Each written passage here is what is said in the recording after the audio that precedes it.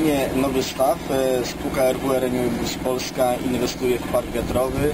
Rozpoczęliśmy budowę 19 turbin wiatrowych o mocy 38,95 MW w sumie. E, Planujemy jako e, spółka do roku 2015 wybudować e, w Polsce 300 MW w turbinach wiatrowych.